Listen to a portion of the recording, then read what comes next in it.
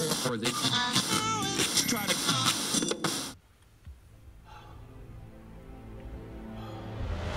is this it? Not now, bro. I'm not in the mood. So why am I here? Because you think you're better than me? Speak up. Because you think you're better than me. At least I'm not the one to say it. Whatever, dude. So, what are we crying about today?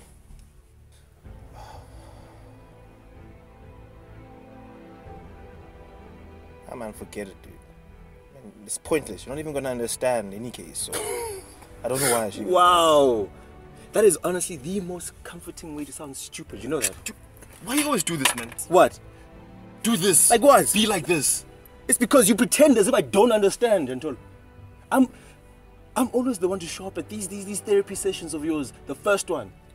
So let's get this whining of yours over and done with and let's go on with it already. Okay, fine.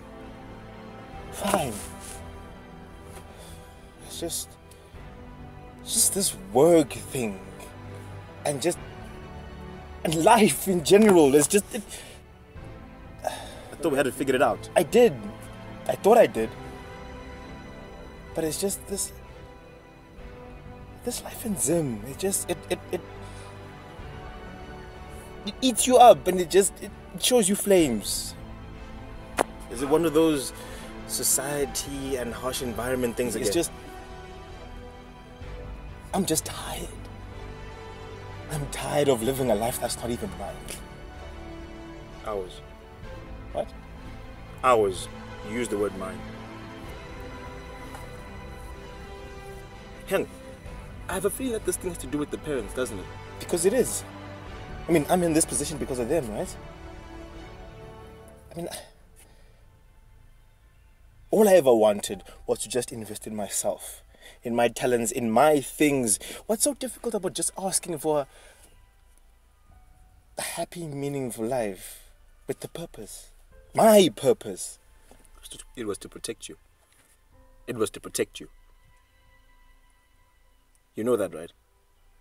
They wanted to give you a stable life so you can be able to look after yourself. You should stop looking at this in a negative light because you know what? It deceives you.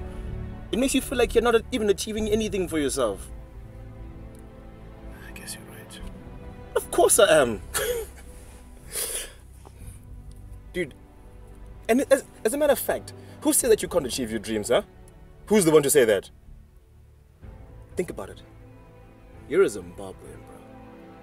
You're an achiever. You can do anything you want to do. You can make nothing, something out of nothing. You can make something out of nothing. So quit your whining, dude, and think about how far you've come because really, you have a tendency to forget that you are a gem, bro. I guess you're right. Sometimes I don't know where you get this wisdom, bro. You should know better.